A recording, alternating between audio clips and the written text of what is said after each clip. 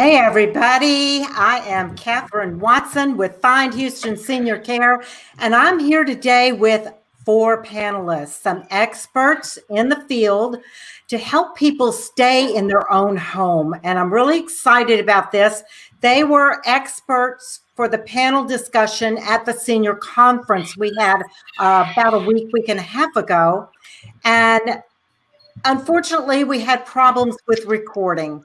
So we are doing it again. And if you didn't get to see it at the conference and you you know wanted to get in on this you have an opportunity now. So here we are live on facebook. I'll also be recording this and putting it up on the senior conference for all of those who signed up.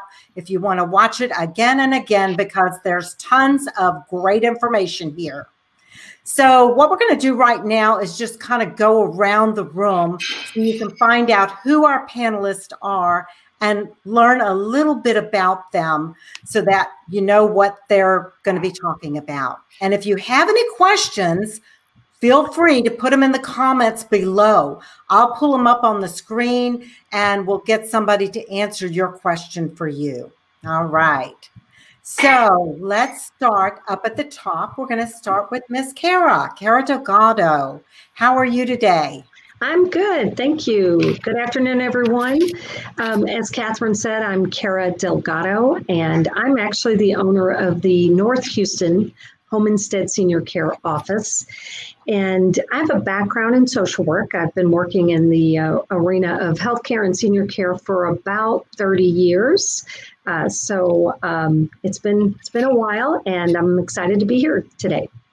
Great, thanks, and it's great to have you. And it looks like the platform is rotating my extra speaker in there. I don't know why. Uh, we're supposed to be able to have six on here, but uh, we'll have four at a time. So we'll bring everybody up at the right time. Steven, let's start with you next. All right. I am uh, Steven Crenshaw, the owner of Handle with Care, and we do senior citizen home safety. Okay, great. And you are in the North Houston area, aren't you? Yes, right. Yes, right. Yeah, North Houston, Cypress Tomball. Great, great. And Laurie? Hi, thank you for having me, Kathryn. I'm Laurie Cantrell. I am a licensed clinical social worker. I've been working with seniors for over 30 years. Cara and I are both probably the old timers here. Um, AMED Home Health is the agency that I work with, and we do cover the majority of the greater Houston area, all the way down to Galveston Island, over through Beaumont, into Angleton, and even over to San Antonio and Austin, Corpus areas. But I do work in the north specifically. So thank you again for having me. Great. Thanks for being here. And I'm not sure what happened to Kathy. She seems to have disappeared. So maybe she was having some uh, video or audio technic technical problems. We'll hope, hopefully she'll join us in a little while. But we'll go ahead and get started.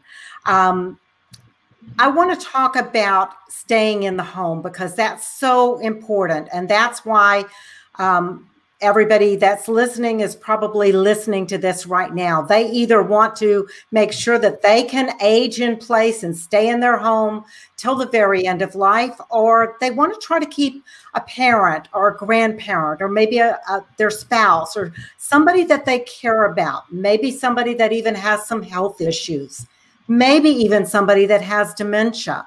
And they want to figure out ways to make it's so that they can keep them in their own home. So these services uh, are really great for helping people to age in place and stay home where they want to be. So the first question I have for all of you on, on the panel is, does your company offer some kind of a in-home assessment? How do I know if I need your services?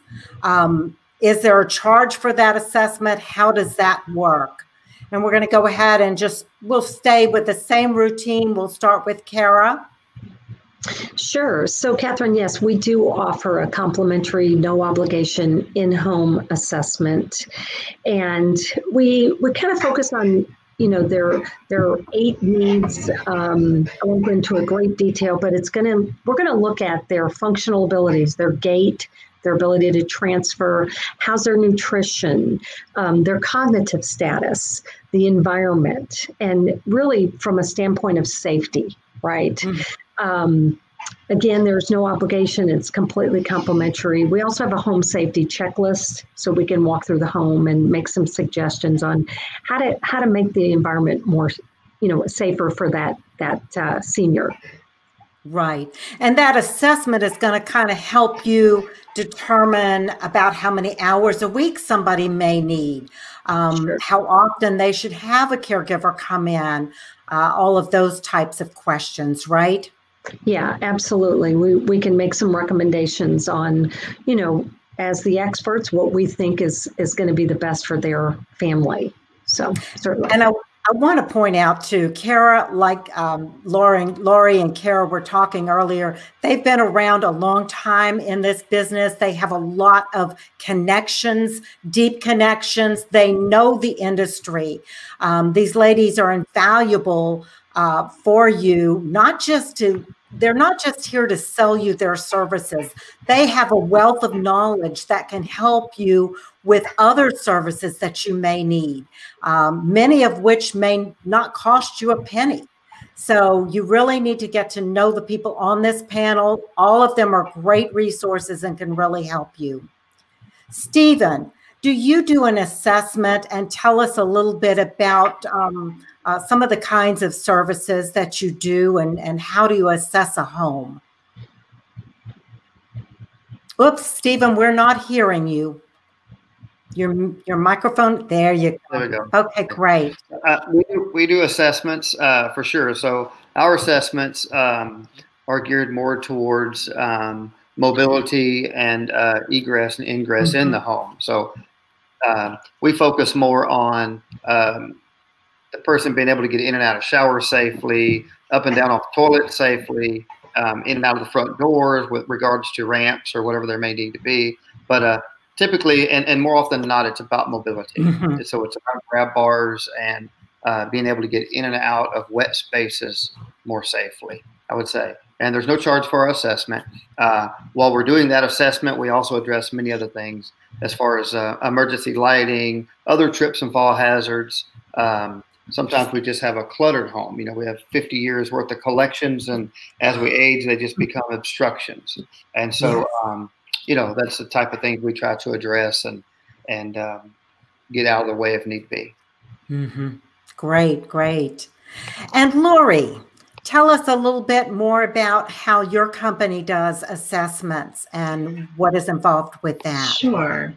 Well, what's slightly different with home health care than with Steven and Cara's services is that we are regulated by the insurance companies mm-hmm. and we're um, a Medicare participant. So we are definitely regulated by CMS, the governing mm-hmm. body for Medicare Medicaid services.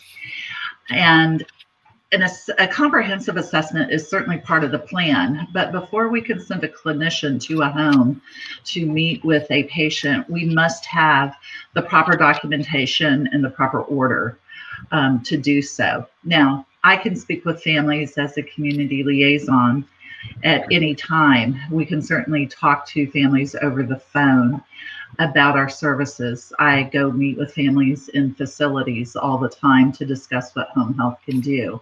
But there is a very specific criteria um, to qualify. It is much more liberal during COVID um, in terms of what are the criteria is that you're homebound and homebound criteria now includes being at high risk for exposure to covid as a criteria cms mm. made that change um, immediately after uh, the pandemic started um, so an assessment in terms of being free i can certainly talk to families and tell them if home health is an appropriate choice at this point in helping keep their loved one at home most patients coming out of facilities after an illness or injury who are essentially homebound. Um, and that just means it requires taxing effort to leave the home. Mm-hmm. Um, but they are um, going to get referred to home health in most cases. I know that Kathy is trying to get back on. Um, I am quite familiar with her services as well, since we do work for the same company. She works for the hospice side. Um, if it's okay, Yes, may I I was address gonna, that? I was gonna ask if you could do that, absolutely. Sure. Wonderful, Where home health is focused on helping patients recover and get better, hospice is the more appropriate choice when patients are now interested in managing their pain and no longer want to aggressively treat an illness that is most likely going to be the reason that um, they die, essentially. Mhm. In terms of assessment goes, absolutely, hospice assessments are um, quite a bit different than home health. They there's stricter criteria to qualify for hospice than there is for home health, and Kathy meets as well as other um, healthcare professionals with our company, AMED Home Health and uh, AMED Hospice. They meet with families all the time to discuss um, if a patient's ready. It's not always the medical criteria. A lot of it is the family being ready or the patient being ready. Right, So right. There's a lot of misconceptions about hospice out there. and what there it is and- and all of that. And uh, so, yes, you're right. The family they ha- they have to be ready. Um, it's a very personal decision when you make a Right. choice to to be on hospice, um, and so it's it's important uh, to know that. But they do do assessments. and, um, Absolutely. So you all of those- these they go into yeah. the facilities all the time. Kathy's at patients' homes in the evening quite often and on weekends to discuss the appropriateness or the readiness of the patient. And sometimes they don't meet criteria and they're more appropriate for home health. Um, we see referrals all the time where we look at it and discuss is this patient more appropriate for hospice? And when we see that, usually they are, they're just not ready um, to make that decision quite yet. Okay, all right. My next question is going to be for Cara and Laurie um, because I want to really help people to understand the differences between home care and home health care. I think it's very, very confusing for families. I know when I first uh, started looking for my mother and my mother in law, I didn't know the difference. And it was very confusing. My sisters had some misconceptions about what the two services did and were, and the rules, and who pays, and all of that stuff. So, um, if you would just please explain to us a little bit more, and we'll start with Cara. Tell us a little bit how your service works and how it differs from home health, and then we'll listen to Laurie. Okay. So, home care or private duty non medical home care, that's often how we're referred to.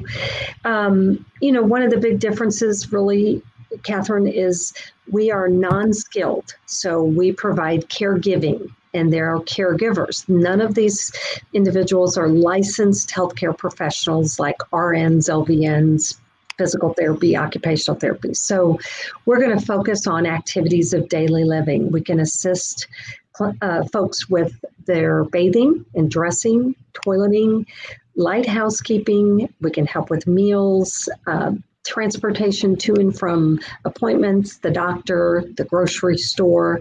So, if you think about it, all of those things I just mentioned, you really don't need a license. You do not have to be an RN um, or an LVN or somebody with a license. So that that I think is is one of the biggest differences. Also, our services are predominantly private pay. Um, you may ask this question in a little bit, but we also you know work with long term care insurance. Um, there's some veterans benefits through the aid and attendant program that cover the services, and there's some other funding sources that if that I can get into a little bit later. Um, whereas the home health is going to be covered predominantly by health insurance. So Mhm. and Medicare, Medicare, and health and other types of health insurance. health insurance. Right. Yeah, exactly. Right. So, Cara, basically, what you're telling me, or what I'm hearing, and tell me if I'm wrong, is you're basically cloning the adult daughter or the spouse, right? That's right. Yes. You're well, doing everything that they could do um, because you're not providing a medical service, but Right. you're providing all the other kinds of services that an adult daughter might do, or adult son, or or some other family member who's caring for somebody.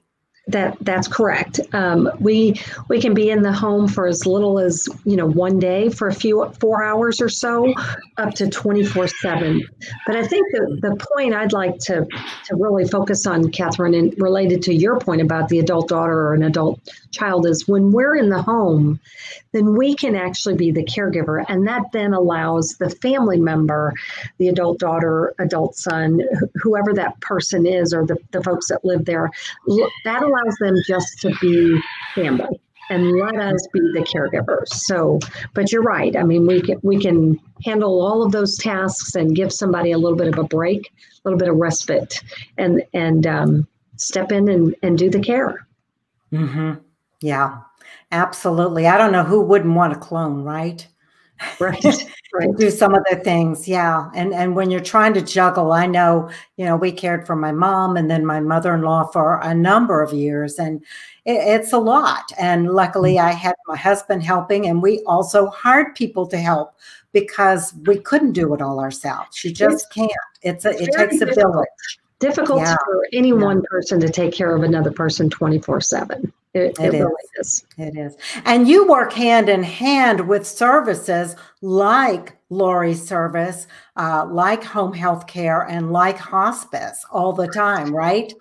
Yeah, we are often in a position of talking to families about home health or hospice, um, and and sometimes even even Stevens services. They need some adaptation to make their home safer, and we can certainly, you know, provide those resources, um, and often do find ourselves Yeah. in, in a position where we're helping people, you know, get resources that that we're not able to, you know.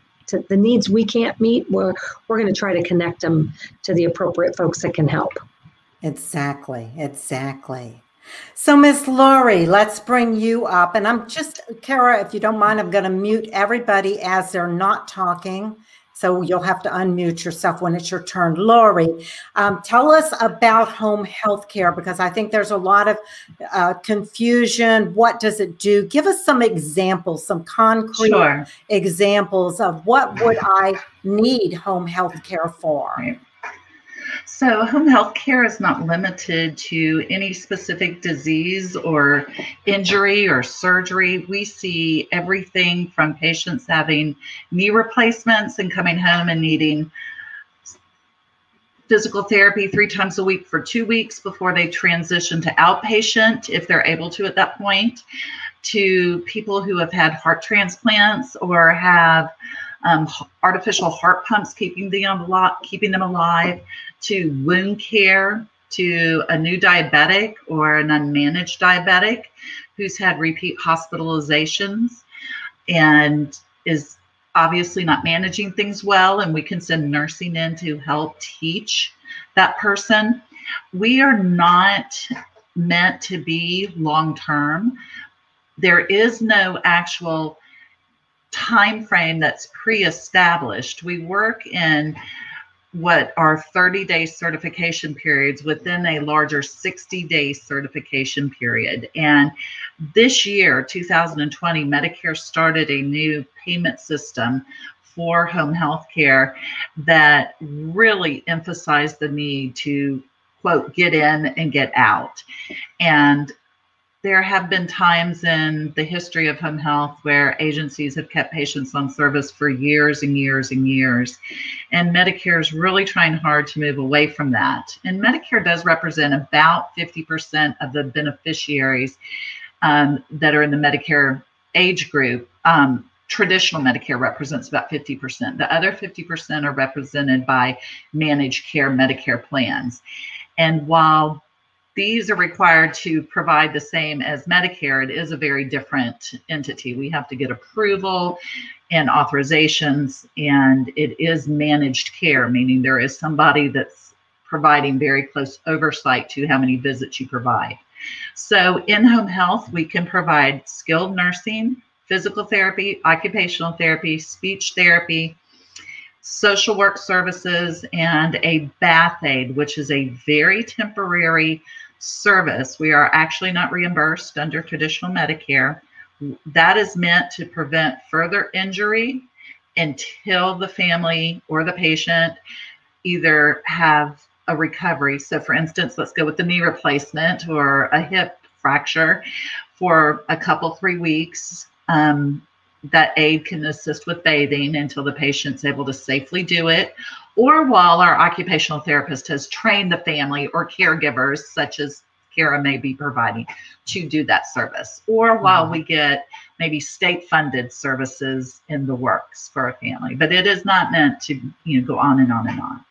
Right. So there is no true limit. The the main couple of criteria that we have to focus on is having what we call a face to face. That means that this patient's had an encounter with the prescribing physician. Um, it doesn't actually have to even be the prescribing physician, but with a physician or a nurse practitioner or PA in the last 90 days. Or they're going to have one in the next 30 days. That's also allowed. We can start services with that anticipated as long as we have documentation that supports the need for our services.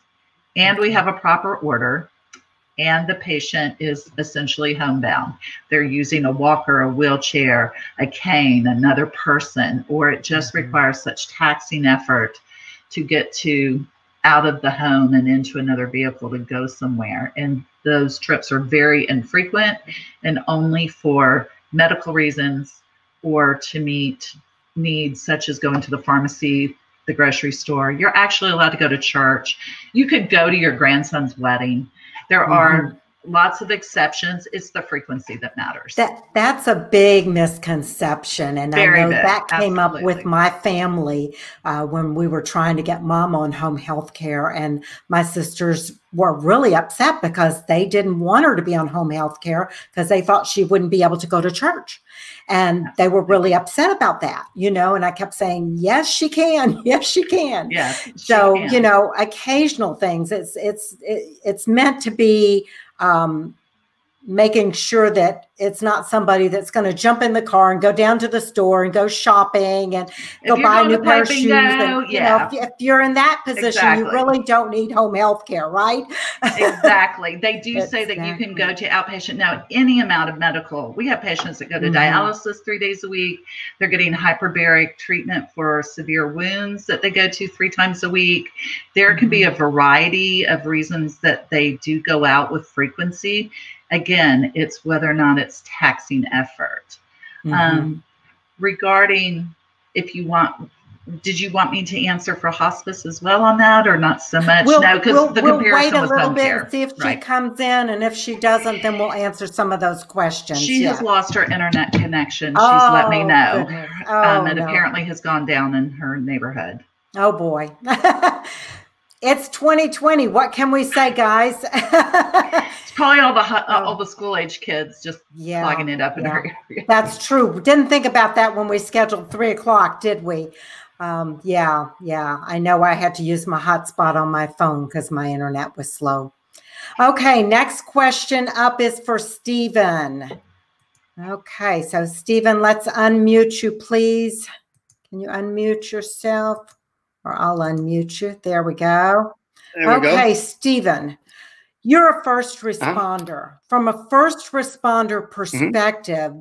what do seniors need to have in place in their home when an emergency event happens? Um, a couple of things. Um, one is um, as far as the responders getting um, into the home, we have a system called a Knox box. Mm-hmm. I don't have one handy with me, but um, basically it's a lock box that goes on the garage door and it allows the fire department to gain access into the home without doing any type of damage to the structure. Um, the only people that have a key to that is the fire department. So, you know, it's not this um, perception that, oh my goodness, I have a key strapped to my wall. Everybody's going to come in and uh, have access to my home. And it's just not, it's just not that way. Um, mm-hmm. And then, so anyway, we get, we come out of the fire truck, we get the key, we come into the home, we do whatever we need to do, and then we, are on our way. We're able to resecure the home, all as well. Um, once we're in the home, there's a couple of things that we need. One is, um, I have one here actually. One is called uh, something called a file of life. And inside this file of life, there's a card system that folds up and tucks away real nice and neat inside the holder. The back mm-hmm. of it has a magnetic strip on it, goes on the refrigerator, and um, the information on this paper is just like a. Um, it just kind of narrows down our treatment um, times. So mm-hmm. instead of doing some uh, full blown assessment starting from scratch, we can sometimes utilize this piece of paper and pick out some points that may help us in that very moment. So if they're cool um, to touch, maybe unconscious, things like that, we can look maybe towards some diabetic stuff. Um, mm-hmm. You know, if they're sitting there and they have hypertension, and then we look on here and they take blood pressure medicine and they haven't taken it yet, maybe we don't have a true medical emergency. Maybe we just have a I didn't take my medicine yet emergency. Mm-hmm. And so mm-hmm. those are just some things that we we like to use for the Knox box getting in the home, and then the file of life to uh, help us assess the patient. And then always having any other type of information, a medical list. I I'm sorry, a medication list, things like that. Mm-hmm. That's on here, but um, when you go to the doctor, sometimes two or three times a week, then things change. Things change, and you need to update that information. Absolutely. Right.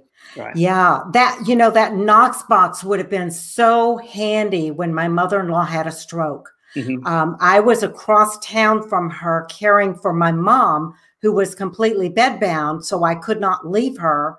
And my mother-in-law had a stroke, um, and and my husband was on the phone with her when it happened. And he called me, and of course I called the ambulance to come, and then I thought, oh gosh, they're going to have to break her door down. You right. know, luckily I was able to get in touch with a neighbor. It wasn't in the middle of the night, and they were able to go down there, and they had an extra key right. and to her house, and they got in. But you know, had that not all worked out that way, right. it would have been a mess. And you got lucky. Tell us, tell us way. about some of the mm-hmm. situations that you've oh. seen where people did not have a Knox box, and so a, what a kind of things happened. Things. A couple of things it can happen. It can happen either good or bad, right? So the good way is um, we show up and the neighbor has a key, or we show mm-hmm. up and mm-hmm. there's a key under the doormat, um, right. and then we can come in and do what we need to do and be on our way. Um, of course, the bad side of that is we show up. There's no key, no access. The, the house is secured. Uh, we can hear someone in the back of the house or inside the home hollering for help, and then we don't have any way but force our way into the home. We don't mm-hmm. kick the door in like it's a drug bust on TV, but nonetheless we still can damage the home a little bit. Mm-hmm. And so, you know, we're trying to be careful. But the issue we, what bothers us most is when we come in and the patient's on the floor and they really don't have any injuries. They just needed help up. So now we've helped them up, good, but the door's broke, bad, right?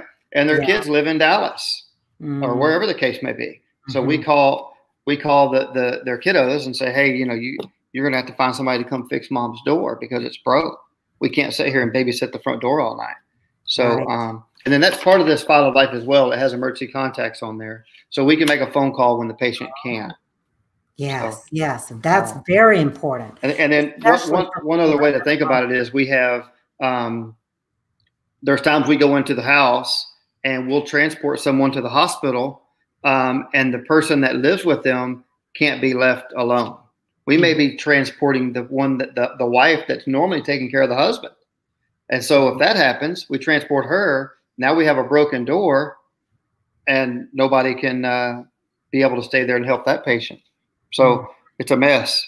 It is. It is. So, where can people get you? You sell the Knox box, right? Uh, I'm, yeah, I'm an installer and salesman for Knox. The Knox. And company. are they expensive, Steven? So, the, so the ones that go on homes are three hundred dollars flat fee, no more, no more fees forever, right? You, you buy it one time, that's it. Um, that serial number on that box is registered to that address, not per se to that person. Mm-hmm. So um, they can always move the box as long as they're staying within the same fire district. Yeah. But other yeah. than that, they're going they wouldn't be able to move it with them. So and the file for life cheaper than a door.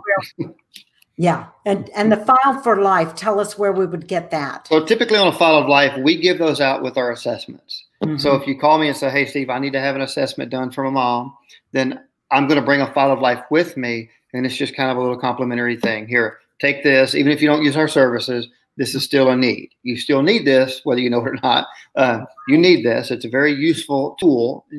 but usually when I explain the need for it, it, it sells itself. I don't have to be a salesman. Um, so the idea is good, right? And so they'll agree with it, put it on the fridge or whatever the case is. Great, so. great. And I am going to bring up Miss Kathy. She made it back. Yay, Kathy. So Thank glad you. to have you back. So let's see. You dropped out right at the very beginning, didn't you? Yes, did, I did. Were you able to introduce yourself or anything? Um, no. no. Okay. So let's go ahead and let's bring in Kathy. Uh, I'd like you to just tell us who you are, a little bit about your background, what your what company you work for and what kind of services y'all provide. Just a, just a little bit. Okay, okay. My name's Kathy Zeleskey, and I'm with AMED Community Hospice. And I've actually been in the hospice industry since 92. So I started the Texas Medical Center and um, was with a one company until I think about 2001. And then I went into the pharmaceutical industry and um, worked in the cardiovascular arena for a while. Um, and I've been back in hospice since um, 2001, and I've been with AMED since 2016. Uh, we provide hospice care. We're one of the largest organizations in the Houston area. And uh, the unique thing is we're a family owned business. So I think Laurie probably answered a few questions that were addressed to me. So thank you, Laurie. And um, I'm not sure what happened to my internet. Everything was working, but it anyway, I apologize. Like I said, it's 2020. We're exactly. just going to go with the flow, right? It exactly. is it is. But I made so it back. I, I want to remind everybody that's watching this live on Facebook, you can put your questions in the comment section below and, and we'll be glad to answer those as well. Okay, let's see. Um, the next question I have, and we'll start with you, Kathy, since you haven't mm -hmm. got to talk mm -hmm. too much. Um, for the services that provide care, home care, home health care, and hospice, how many hours a week can we expect to receive help and who will be giving that care? The way that uh, hospice works is based on the Medicare hospice benefit. So everyone basically provides their care the same way. Um, we have um, an interdisciplinary team the nurse the aide social workers and chaplains. There's not a set amount of hours that they're going to be there. Um, typically amed will will provide um, an rn case manager in the home a minimum twice a week. Now i can't speak for every other hospice. Uh, medicare requires that every hospice patient be seen by an rn once every two weeks so we don't think that's enough, you know, so we minimum twice a week. However, it's not even a certain amount of time. So it just depends on what the patient needs. The nurse would go in, they would do the vital signs, we would discuss pain and symptoms. They do a lot of teaching of what to expect. Um, mm-hmm. Um, that could be 45 minutes, an hour. I mean, it could be however long they need. So it's hard mm-hmm. to say the amount of time. Uh, so let's say they plan on twice a week, but a family patient and family needs something in the middle of the night on a Saturday. You know, that's mm-hmm. another visit by another nurse. So it's real hard to, you know, put a pinpoint on how long that would be. Um, the certified nurses aide is available through AMED anywhere from three to five times a week. And that's Monday through Friday. So um, again, however long it ta- how long it takes, if the patient needs a shower, you know, that may be different than doing a bed bath and changing the linens on the bed. So it really can't be number of hours. Social worker and chaplain will make a visit, you know, and again, that's just as long as it needs to be. Right. But that, answer, that's the but, thing that I think people don't understand about hospice. And that's what I love about hospice mm-hmm. is it's mm-hmm. a whole team. You don't mm-hmm. just get one person coming there. It's a whole team. And I always say another set of eyes on Absolutely. the person that you love. So uh, if you can't be there 24 7, and who can, um, you've got somebody else popping in here and there. Mm-hmm. You've got the chaplain coming in. You've got the social worker coming in. You've got, you know, a caregiver maybe coming in, a nurse, all of these different people. But tell me what's going on right now because we're in COVID and the pandemic. How has that changed? And are they still able to go in and provide the care? Is how has that changed, Kathy? In the home, it's pretty much the same. Okay. Um, now we do have situations where the patient's COVID positive, and it, again, it depends on the needs of the patient. We are able to even do visits virtually in some instances. because we're not intended to replace the patient and the family's caregiver, the primary caregivers anyway.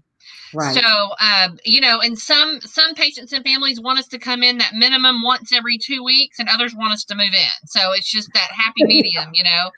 And it's, uh, but but again, there's a lot of situations where if a patient's COVID positive, we are able to to provide that care virtually um, at least at least the part of it to where we would do the assessment and the pain and the symptom management.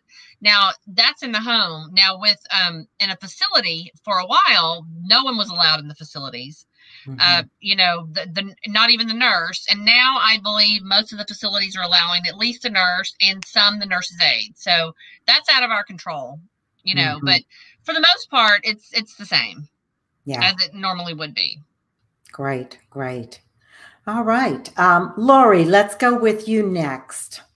So can you tell us um, how many about how many hours a week could we expect and how does that work?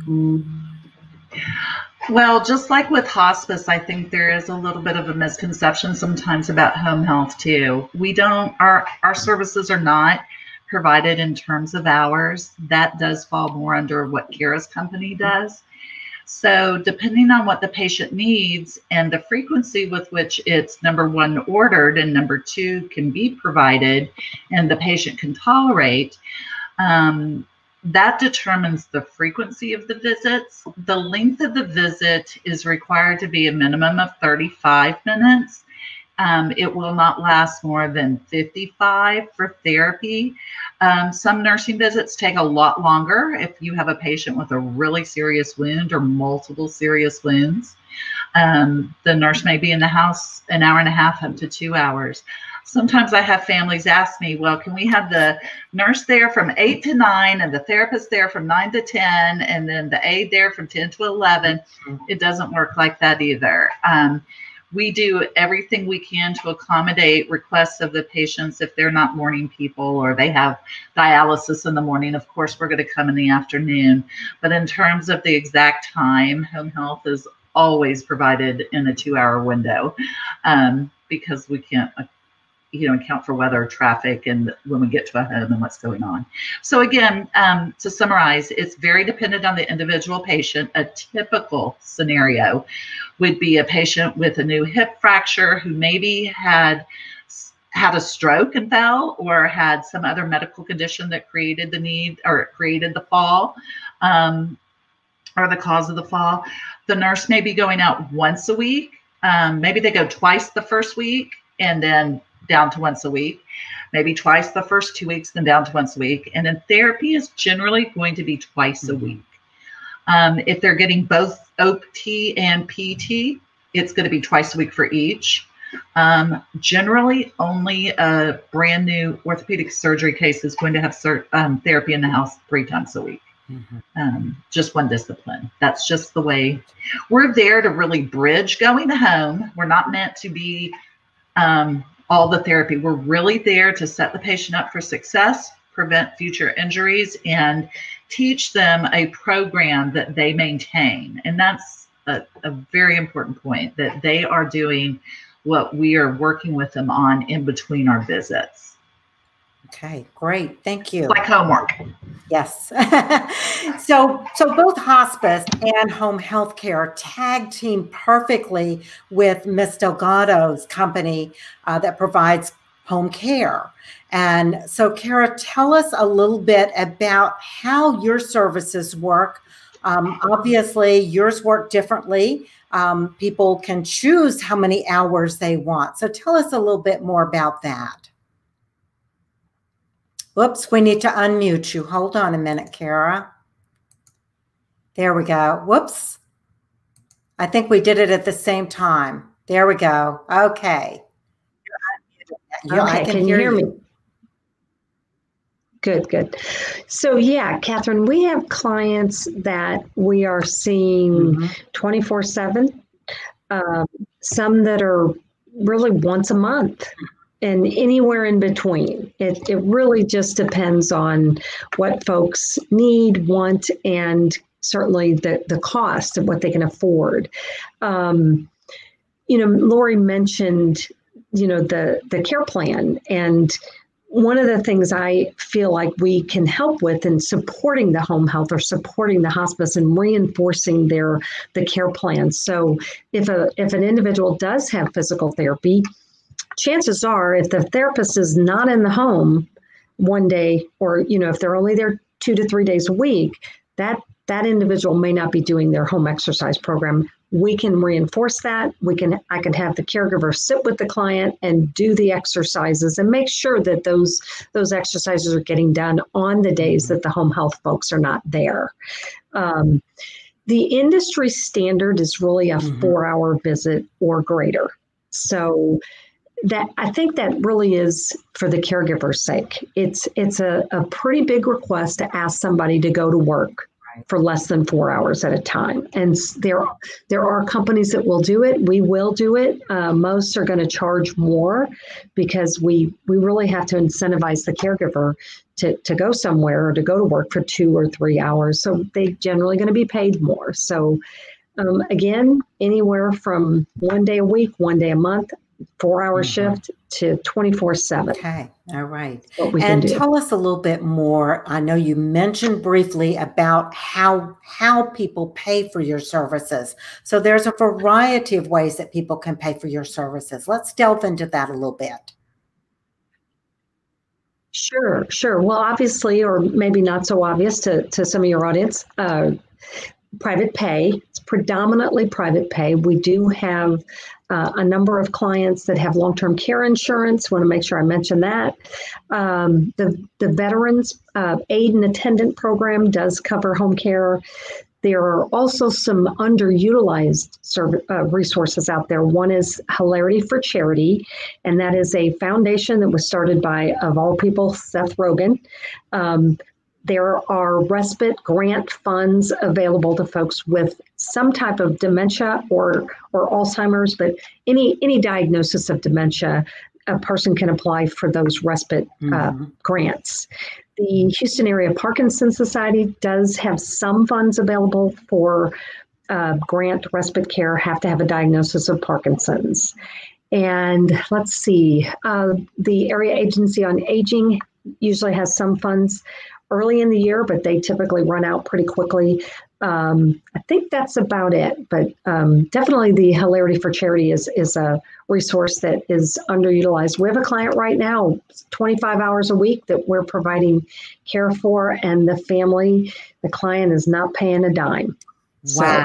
So, wow. That is, sure that is wonderful. That. that is wonderful. Yeah. Hilarity for Charity, that has just come on my radar recently. Is it fairly new, Cara, or is that uh, has that been around for a while? I, well, gosh, a few years at least. Uh-huh. Um, so Seth, Seth Rogen's mother-in-law had early onset dementia, and he saw personally the devastation that that that had on his family and his wife and her, um, he wanted to do something so if you you can go to YouTube and you can Google and or, and see him testifying in front of Congress for more funds in mm-hmm. term for research of, of Alzheimer's. But he then started the foundation and basically he puts on these comedy shows and they're they just they're fundraisers. Um, not my cup of tea when it comes to his humor by any means, but you know he's, doing a good thing. It's a good cause. That's right. Yeah, absolutely. Oh, that's great. That's great. So it's it's nice to know that there's resources out there, and it's nice to know that there's people out there like yourself that really have a, a finger on the pulse and know about these resources and where to go to get them. I mean, if somebody uh, wanted to know about veterans benefits, I'm sure you could point them in the right direction. Sure. You have somebody that you probably work with that could help them with that. Right. Um, same right. way with long-term care. If they have a long-term care policy, you can help figure out what will it pay. Right, right. Yeah, we we certainly can help them, you know, research the what what are the benefits for a long-term care policy. Um, Laurie mentioned the Medicare Advantage plans or those managed Medicare plans. So we are seeing in 2020 some Medicare Advantage plans are paying for private duty home care. Um, there are we we believe we're going to see more of that in 2021 um, it's it's still fairly new. It's and we're we're all kind of learning about that. But I I think the the the point really is that the government, Medicare, and the folks who run that are seeing that the most people want to stay at home um, if that is possible in terms of you know their safety. It's also the most effective or, or cost effective way of of caring for folks is in their own home. So we're going to see more and more of the those medicare advantage plans covering private duty home care. Great great. Okay i want to go back to steven now. So steven unmute yourself You got it. Okay. All right. So, Steven, um, I know that you do a lot. You we talked about. We've all talked about falls, and and that's one of the things that a lot of times uh, leads to the demise of a senior. Um, it's one of the things that a lot causes a lot of people to end up in nursing homes and things like that. So we all want to try to avoid these falls that we break a hip or you know have another major. Maybe we uh, hit our head and have um, a major trauma from that. Uh, your company really focuses in on that and the things that you do. Let's talk about the bathroom okay because that's a source for falls a lot of times for people so what kinds mm-hmm. of things would you do in someone's bathroom to help make it safer and more senior friendly well one of the first things we want to do is um, put grab bars in right mm-hmm. i mean because you, you need to have something in your hands a grab bar in your hands when you're transitioning from uneven level surfaces of the floor um, or just in a wet space. So if you're having to step over into a bathtub or transition from the bathroom floor to the shower floor, whether it be a swinging door or whatever the case is, then having a grab bar in your hand is very, very important. We like to have what we call three points of contact at all times. We want either both hands on the bar and and um, at, at once while you shuffle your feet, or at least one hand on the bar while you take a, both hands on the bar while you take a step, or at least one hand on the bar during a transition. Mm-hmm. We never want to just kind of be freestanding out there with our hands up while we're trying to make steps. Now, having said that, there's many things we can do. But I find that a lot of your small showers, um, well, that swinging door, it prevents you from being able to get your walker or your wheelchair up close to the door to the shower. You're kind of had you're kind of having to be stood off. However, however wide that door is, it swings out into your opening and you can't um, be too close, right? So mm-hmm. by the time you kind of park your walker, get the door open, well, now you can't reach the bar. It's too far away. So we like to just take the doors off and put a shower curtain. It may just be a, a kind of a stopgap, right? So we do that, let some rehab happen, and just kind of back up and see where we are in two or three months. And if we're better, then we come and put everything right back to where it was. If we're not better, maybe we consider doing something different. But in the meantime, we make it as safe as possible by using grab bars. Mm-hmm. And you can cut out the tubs too, can't you? Yeah, we do. We have a, uh, a system that we install called a clean cut. And I, in fact, I did one of those t- this morning.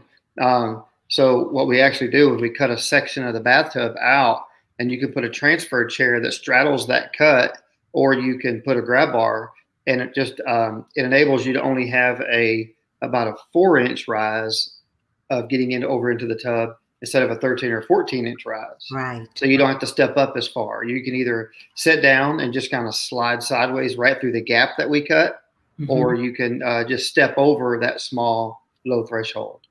Right. It's really, it's a really, really cost effective way to getting an old school bathtub um, to be to be able to get in and out of it safely without having to do a full blown tub removal, shower floor, tile job. You know that that gets expensive. So um, and but, a lot of your older homes they have a tub and they may have uh, just a tub and that right. shower and the tub and they have a shower curtain That's and right. my mother-in-law had that situation and mm-hmm. it scared me to death because she had rheumatoid arthritis. She was not very agile and stepping over that it was always you know we worried about that. So that's the norm um, yeah that in especially in the older homes mm-hmm. it, that is the norm. And so it's good to know that there's a solution that can be done that's not extremely expensive. Not everybody can afford to just gut out their bathroom and remodel it. Right. don't we all wish? But right. you know not everybody can do that. And yeah, especially right. a lot of our seniors who are on a fixed income and they're worried about the money anyway. So great.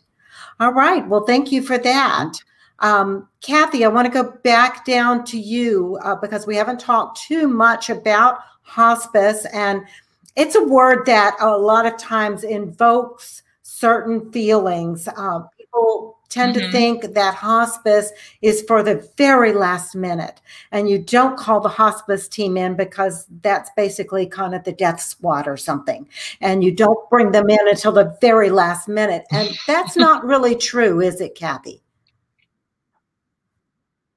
No, it's not, Kathryn. Actually, that's one of the biggest misconceptions that I run into because, like you said, people hear, wait, mama's not going anywhere today. I'm like, no, she's not. You know, I mean, that just because hospice has been called, it doesn't mean that anything's happening this week or this mm-hmm. month, even, you know, or down even further. Uh, the, the big thing that makes the difference is, is, is the patient going to be having any more aggressive treatment? So I met a gentleman yesterday who cannot have any more aggressive treatment, but he walked in, met me at the door, and you know, I mean, but that doesn't mean, I mean, he has a terminal diagnosis and he has cancer. Mm-hmm. So just just looking at him and what people tend to think, or based on what they see, you know, means nothing. So um, it's better to get connected right off the bat. So um, I mentioned I've been in hospice since '92 and back then, most of our referrals came from the hospitals. And I would call on doctors' offices and they would say, Oh, well, yeah, I love hospice, but I mean, patients, my patients are referred to the hospital. Well, I would explain, yes, of course they are. We have a lot of referrals from the hospital. However, think about patients that you have now that aren't in the hospital. They have a terminal diagnosis. However, they're not in a crisis. So it's better for us to get connected now when we know that they meet criteria versus when they're in a crisis, they're at the hospital, they just found out they have a terminal illness, they're coming home and they have days to live. If we could alleviate that crisis and trip to the hospital for the most part, because we're, we're already there, they're in the home and they're comfortable. So when they need something, instead of calling 911, they call us. Hmm. So, I mean, the, the patients have gotten to a point where we know there's nothing else that we can do to cure their illness. That's the most important part. So it is not just for the end. Although, I mean, people have this um, misconception that hospice is only a little white house on the hill, and they go up to the house on the hill, and then they keep going up. You know, hopefully. so, and, uh, and again, that doesn't always happen. But um, yes, I mean, there are inpatient hospices where you know you have right at the end days of care. However, the majority of our patients, and actually in the North office we um, actually have a pretty long length of stay. So that just tells me that we're doing a really good job of educating the community to refer appropriately, not mm-hmm. referring at the very end. Right. My mother, I, I think I mentioned this to you before. My mother was mm-hmm. on hospice for almost two years, my mother in law for seven months. We could not have done it without the hospice team. Yeah. We just couldn't. There, there are times though, like like your mom, if she was on for two years, then she must have been continually declining because I always explain when I meet with patients and families, although people ask me all the time, how long can mm-hmm. I have this service? Mm-hmm. And the simple answer is as long as you need it. Mm-hmm. However, uh, there are different benefit periods. The first benefit period is 90 days, 90 days, and then unlimited periods of 60 days. So there's a checkpoint. So at 90 days, we would have a, a nurse practitioner that's not connected with us necessarily. It's a new set of eyes and ears. They're going to come in and they're going to say, How's the patient doing today compared to when they were admitted? And we do expect our patients to decline, some quicker than others, but sometimes they don't. Sometimes they level off and perk up and they end up coming off of hospice because they just don't meet criteria anymore. And then they could come back later when they do need it. Yeah. Yeah. Well, Mama, Mama was sent home with a 30 day diagnosis. They said mm-hmm. she had about 30 days. So she was tough. She kept, she kept, living. She was 93 yeah. when she passed away. And uh, we were actually called to her bedside numerous times. And uh, as soon as everybody would get there, or as soon as one of us would get there, she'd pop up and say, "I'd like some ice cream," you know, or something like that. I mean, she would just, it was just she would go up and she would go down and she would it was just a sing song swing. I, I, don't know why but that's the way it works. So she stayed on yeah like i said almost two years. It was quite wow. a time. But we couldn't have done it without the hospice team and without home care in place and mm-hmm. before we had hospice, we had home care and home health care. Okay. And we had somebody that came into the home and put in the grab bars. And so we've used all of these services. Yeah. And um, you, you know, you there's not one that I would say you don't need.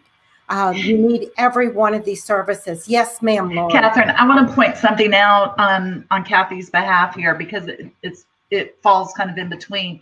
The diagnosis that the patients are being treated for on hospice um, are separated from any other diagnosis that the patient has. And this played a part in my mother being on hospice.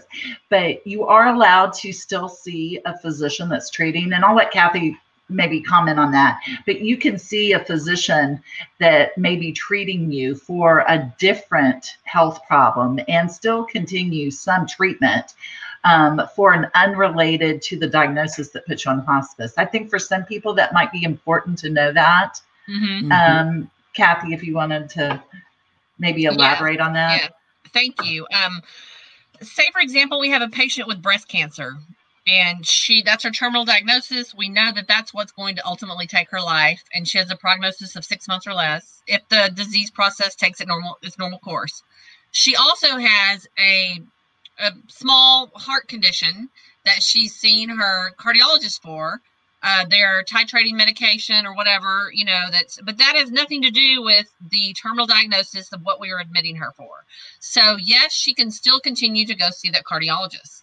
And we've even had patients that um, have continued their renal dialysis but their diagnosis is not end stage renal disease. They may have a cancer diagnosis or they may have a heart failure diagnosis, COPD or something. So they can continue that dialysis. And that people are like, oh, I had no idea. But I mean, truly, it's not related. So that can actually continue. Um, we even have patients that ask, can I still see my PCP or can that doctor still be involved? And actually, we encourage the PCP to remain the attending if they can because uh, that PCP knows that patient and family better than anybody else. And that family is going to be a lot more comfortable making that transition to hospice if that long relationship is still in place. Yeah. So um, that is something that I know a lot of companies don't offer, but really it makes a lot of sense. And we've even connected with some of our good medical directors doing exactly that because mm-hmm. they realize hey, I really like the way this company takes care of their patients, and you know, we'd like to work together. So it it, it turns out being good for everyone. Good, good. Guys, we are running low on time. So I want to ask one last question. Um, so many people these days are suffering from different types of dementia, including Alzheimer's how can we help them to stay in the home? And can we help them stay in the home until the very end of life? And how does your service help with that? So we're going to start up at the top with uh, miss cara delgado and if you'll just give us a little bit of information about that Sure. So, Kathryn, you know, I would say probably over 50% of the folks that we are caring for in, in their homes have some form of dementia, Alzheimer's being the most common type of dementia. Um, we have our own uh, specialized Alzheimer's training um, it was developed by experts in the field, a, a, gentleman by the name of David Troxel. He wrote The Best Friends Approach to Alzheimer's Care. So, you know, our goal is to try to get as many of our caregivers trained in that Alzheimer's training as possible. But the main focus is safety and um, just really making sure that that those clients are, are if they're wondering if they're uh, confused and forgetful, you know, we want to make sure they're they're safe. If they they forget to leave the stove on, if they forget to turn the water off, things like that. Um, and I think also just give the family a break because it can, as I mentioned earlier, it's very challenging to take care of another person 24 7, especially when that person has Alzheimer's and dementia because there's just a whole range of behaviors that come from that disease and that particular diagnosis that can be very, very challenging to manage for family yes, members. It can. Yes, it can. It's very emotional for family members. Mm-hmm. Absolutely. Yeah.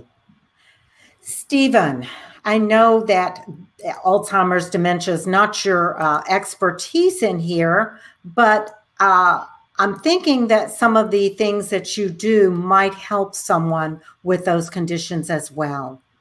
What are your thoughts? Well, uh, for us, it really, um, well, I, I, don't really know, really, I'll, to be honest with you. I'm not sure, um, other than just a mobility issue. And that is issue, an issue a lot of times um, with people with and, dementia. And they, you know, have what we call the dementia shuffle sometimes. They have um, forgetfulness, they, right. things yeah. like that. Um, so even if they mm-hmm. were alert when a EMT came in, they might not be able to tell the EMT what medications they're on, but that file of life could. Right. So yeah. Absolutely. That's kind of the file of life. It helps with that, right? Um, but as far as mm-hmm. as far as the shuffle, right? I mean, there's, but to us, it's just a, another a mm-hmm. patient with a balance issue, right? They still need the grab bars. It doesn't change one way or the other. Uh, other than the one aspect I can say it, it, may change would be making sure that we have we try to set every bathroom up mm-hmm. the same, um, so that we have some sort of um, memorization. If for what it's worth, you're able to try to remember that the grab bar is on this side every time. Mm-hmm. And if we don't want to go from one bathroom to the next and things change up and cause confusion.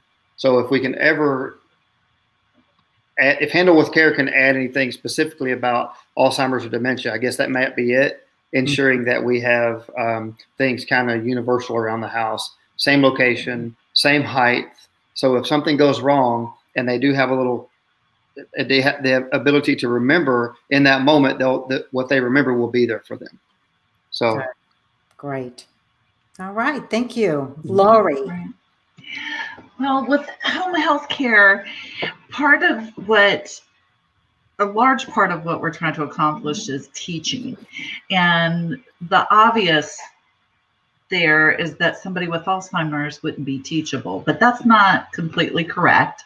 Number one, um, we can also teach family or friends or caregivers. So we definitely have a role with these patients. Um, a very wonderful story comes to mind um, that I can share, uh, that Kathy and I share, and that is um, a healthcare professional that I work with referred her father-in-law to us recently, and to hospice actually, mm-hmm. and the hospice got in there and through having more eyes on the patient, like we talked about, mm-hmm.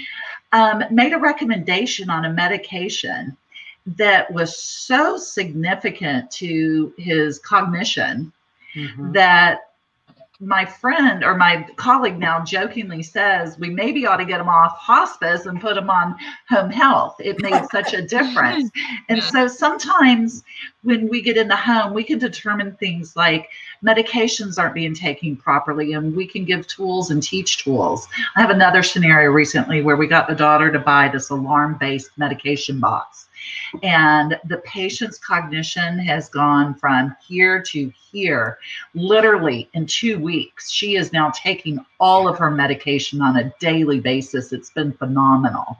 We also made her a, a pill poster with all of her medications taped on there and the name of them.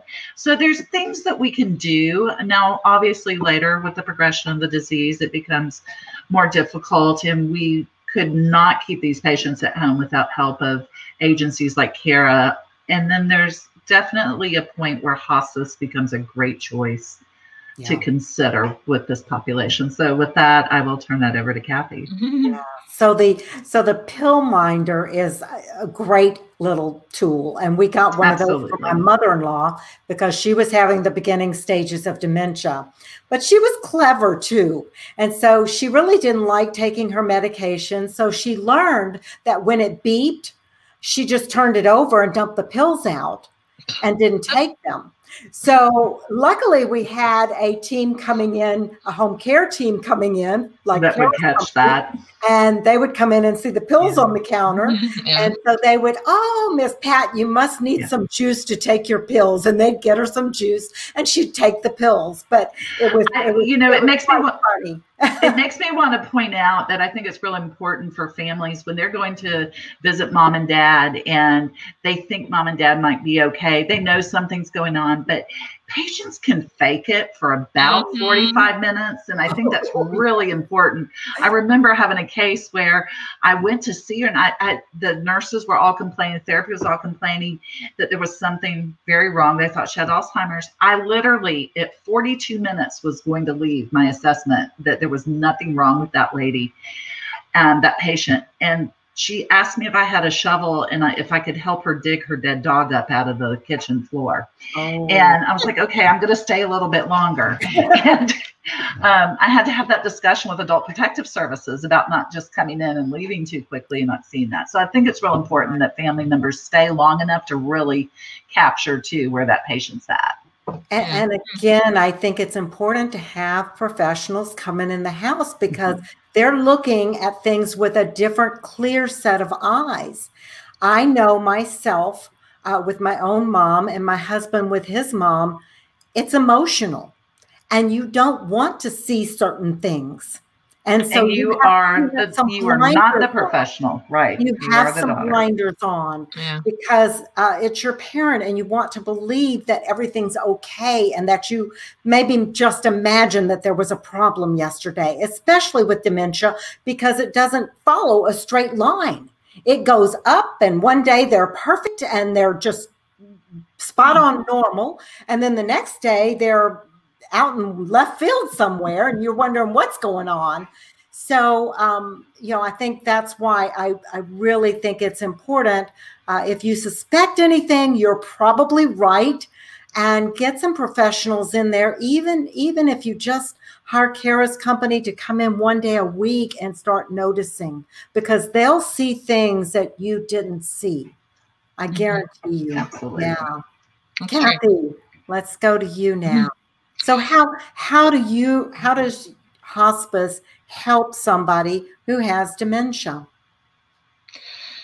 Actually, for a patient to be appropriate for hospice um, who has dementia, either from dementia from a stroke or Alzheimer's, uh, you know, we, we care for that patient like we would care for others in a, in a sense. I mean, but people don't realize really what it takes for them to meet criteria.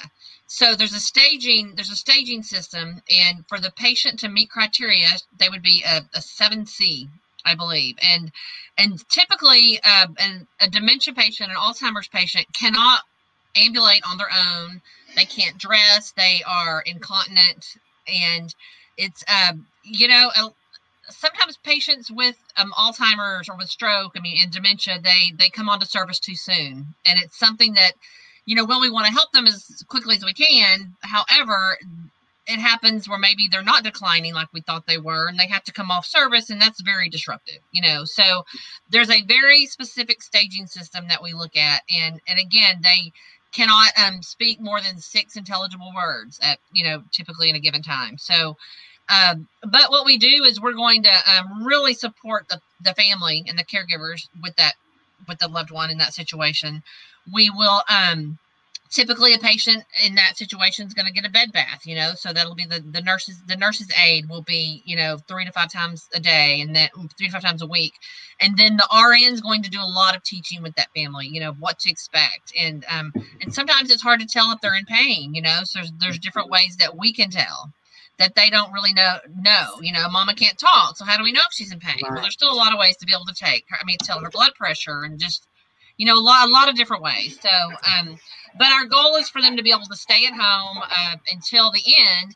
And there's another level of care called crisis care. It's paid for by Medicare. Again, one of the levels of care with the Medicare hospice benefit. And if we, um, if there's, if that patient's having pain or symptoms that we cannot manage with those um, intermittent visits, that would be like uncontrollable pain, nausea and vomiting, shortness of breath. They would qualify for that other level of care.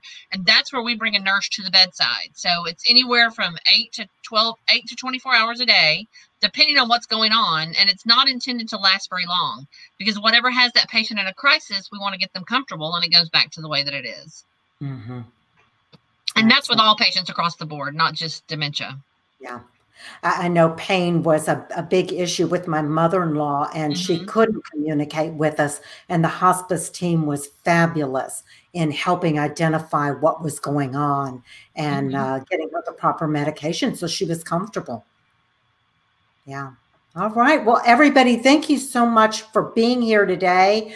Um, again, we've been doing how to stay living in your own home with these experts. And I'm going to go around the room and we're going to put up a phone number. So if you want to reach out to any of these people, um, uh, any of these experts, you can do that. So, Cara, just uh, say who you are so that they remember. This is Cara. Uh, yeah, Cara Delgado with Home Instead Senior Care. Okay, and her phone number is at the bottom of the screen. Um, and then we'll go to Steven. Hello, this is Steven, Handle with Care, Senior Home Safety, and that's my number there, 281-932-1551. Okay, and Kathy? Kathy Zeleskey with AMed Community Hospice, and my cell phone, 713-898-8776. Great, thank you. And Laurie? Laurie Cantrell with AMed Home Health. And I'm going to stick this in because I forgot to say this benefit is often covered 100% by your insurance and Medicare. And my office number is 713 941 2115. Okay, great. So, everybody, thank you for being here.